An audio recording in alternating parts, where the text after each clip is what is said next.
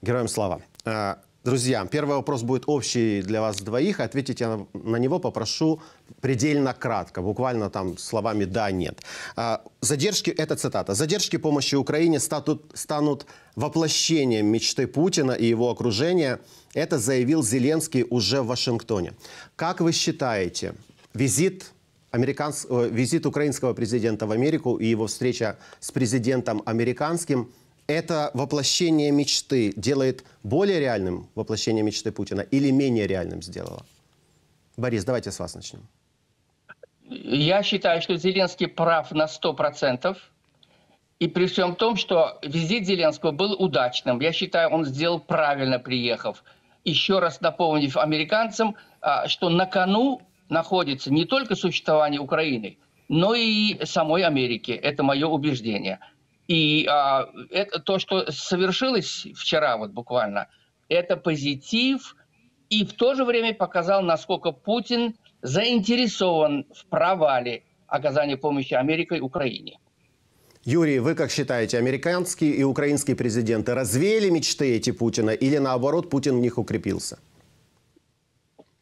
Я думаю, что ваш первый вопрос, что эта мечта стала а, я думаю, что я согласен с тем, что сказал Борис. Это э, важно было для них встретиться. Я согласен с президентом Зеленским и с Байденом. А, мне кажется, они все э, проявили здесь э, правильные заявления, правильные качества. И мы видим, что поддержка достаточно широко двухпартийная. Осталось только поставить вопрос на голосование – и достичь договоренности с людьми, которые, возможно, договоренности не стремятся достигнуть. И вот это, мне кажется, является главным камнем преткновения. Но то, что администрация заинтересована в том, чтобы сделать все, чтобы помочь Украине, и поэтому мы видим, что президент Зеленский опять э, в Белом доме, э, это, естественно, делает мечты э, мокрые, мечты Путина менее, не знаю, как-то странно, да. Хорошо, а кто не стремится на сегодняшний день э, достичь этих договоренностей, как вы считаете? Такие есть в, укра... в американском политикуме? Конечно, так это называется ну, Трамп и его фракция. А, трамписты, МАГА, Make America Great Again, а, они заинтересованы в том, чтобы вывести нашу страну из НАТО, а, потому что тогда не нужно будет сражаться за союзников. Какие союзники? Эм, это то, что предлагает сделать Трамп, и поэтому в такой, для таких людей помощь Украине, даже если а их не особенно волнует, э, Путин победит, Путин не победит, для, больших, э, для большого количества республиканцев это важно. Я уверен, для Бориса это важно. Но для тех, кто контролирует, имеет контролирующий пакет республиканской партии, э, они абсолютно устроило бы, если Путин даже победил. Поэтому тут вопрос, с кем мы договариваемся и о чем, не до конца понятен. А, но, конечно, есть, если бы эти люди были, понимаете, полными маргиналами и находились вот как левые маргиналы, они не имеют никакой власти, но там есть левые маргиналы. А, это было бы одно. Но они контролируют, у них спикер палаты представителей в их руках. А, это, это очень важная позиция, и это, как сказать, и это является главной преградой помощи Украине на данный момент. Борис, а саму республиканскую партию на сегодняшний день тревожит, что, больш... что золотая акция находится в руках меньшинства? Ну, во-первых, я хочу сделать поправку. А, Трамп никогда не был против НАТО. Он был за ее реформу. Это во-первых. Члены НАТО не платили 2% от ВВП, большинство из них, надо прямо сказать, как требовалось по уставу НАТО, особенно Германия, крупнейшая экономика Европы. И в последнее время Трамп вообще молчит. Он ни слова не говорит о, о его роли как президента Америки в войне в Украине. А, это о многом говорит. Я скажу вам прямо, я трампист, как бы это э, не убивало тех ненавистников Трампа. Я за наследие Трампа, которое он оставил нам, но я против того, чтобы Трамп стал президентом. Его время прошло. Он не отвечает тем вызовам, которые, с которыми сталкивается сегодня мир наш. Например, та же Украина.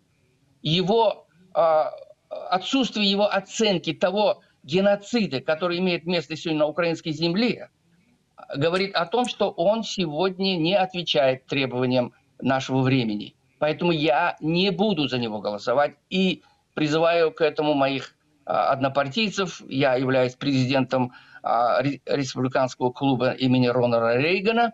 Достаточно много членов, у меня много а, единомышленников, и я говорю везде на встречах и с республиканцами, и с демократами, с депутатами наше видение. Потому что отношение к Украине – это э, лакмусовая бумага.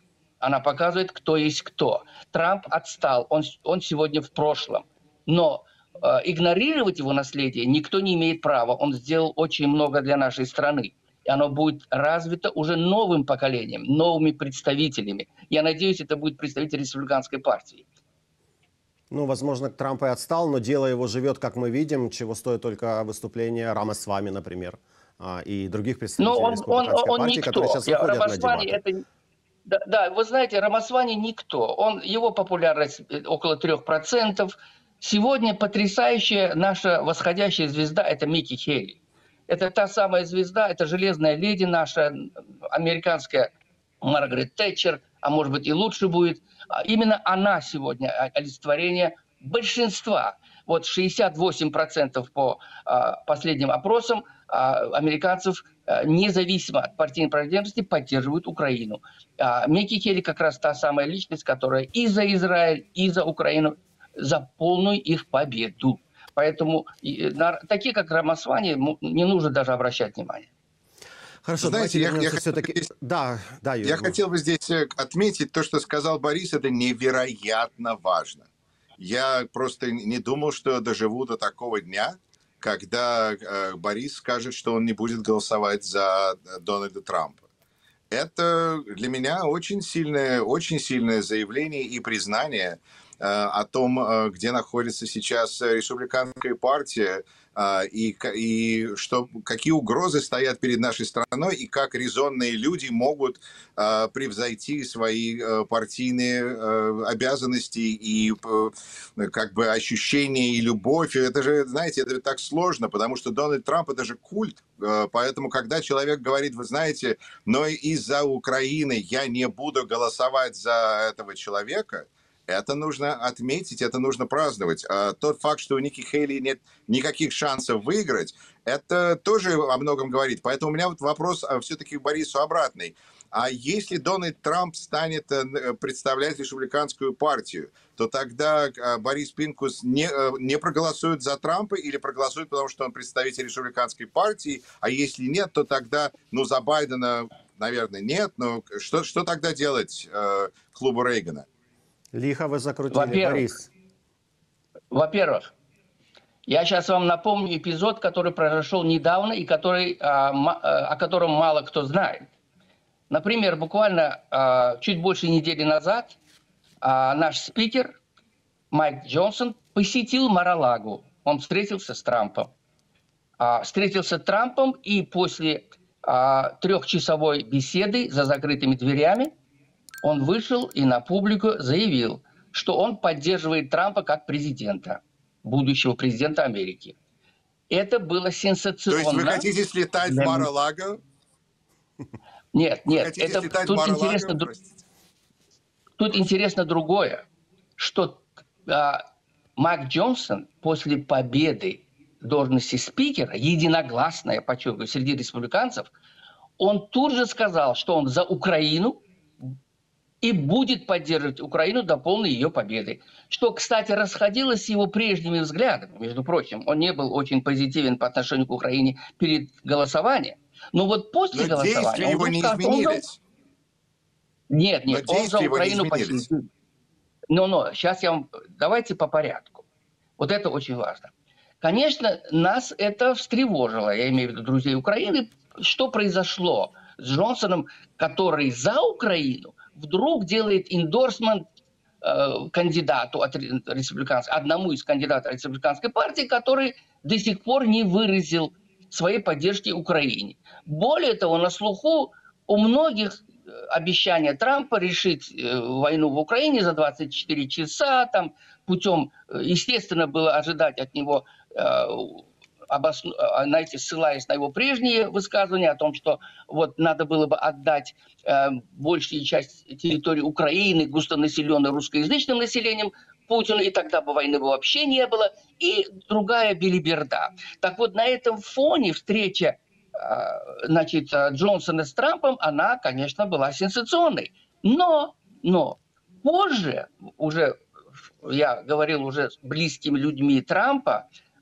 которые, кстати, проукраински настроены, очень даже, они мне так это объяснили, что сегодня от 6 до 10 миллионов американцев, поддерживающих Трампа по опросам, они имеют в повестке дня своей, как избиратели, Украину на третьем, четвертом, а может быть даже и на пятом месте. Но, Их может быть, Борис, это следствие того, что лидеры партии не, не коммуницируют с этими избирателями и не объясняют им. Вы Такое сами говорите, что, что Трамп до сих пор не, вы, не высказал своей четкой позиции по отношению к этой да, войне. Вот, ну, совершенно вот, верно. Вот ну, ваши избиратели есть... и думают, что это вопрос третьей степ... третьестепенной важности. Да, совершенно. Ну, я... Нет, тут есть другой вопрос, который нельзя игнорировать. Я обыватель, я рядовой американец.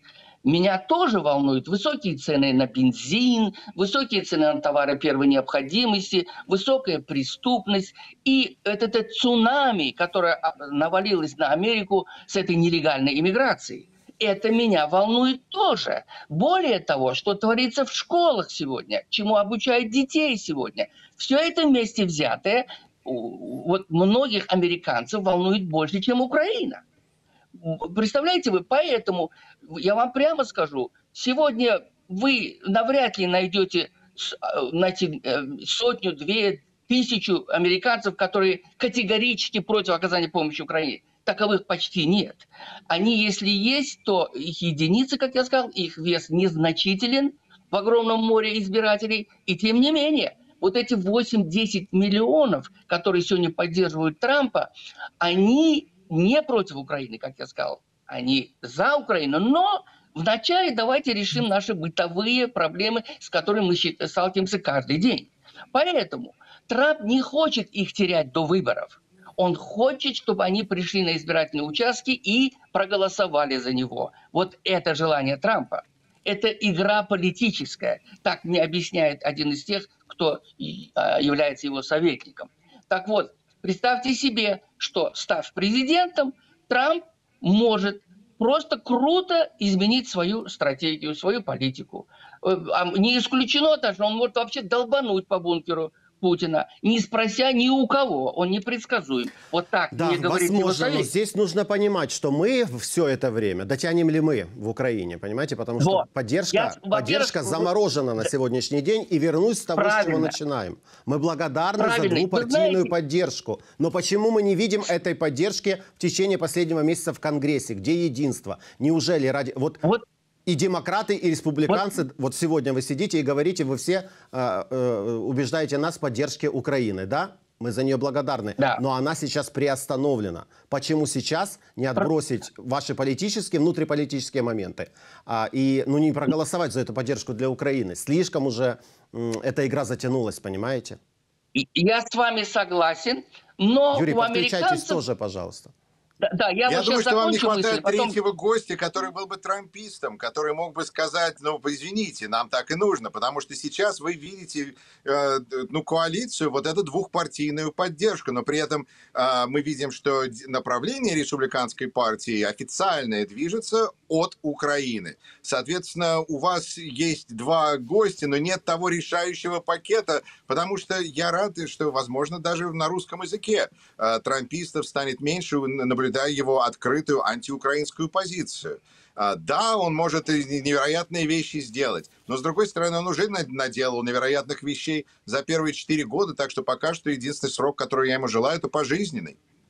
Хорошо, Юрий, мы не будем перекидывать Нет, мяч только на поле республиканцев. Демократы готовы идти на диалог с республиканцами? Они готовы пойти на уступки да, во имя Украины? Байден уже согласился Байден согласился идти на компромисс. У них сейчас идут разговоры с их э, министром э, внутренних дел, который занимается границей, потому что, как сказал Борис, это важно для американцев, и администрация признает это. И администрация... Вопрос только в том, что делать, как решать эту проблему. Делать глубже ров и, и выше стену, или нанимать больше чиновников, судей, чтобы эта граница работала, как она сейчас не работает. Ну, вот, возможно, мы это решим. Но просто печально то, что эти люди, которые у них них, вот они думают, что у них сейчас золотой билет, что они схватили Бога за бороду, сейчас они получат все, что хотели. А в результате они помогают Путину.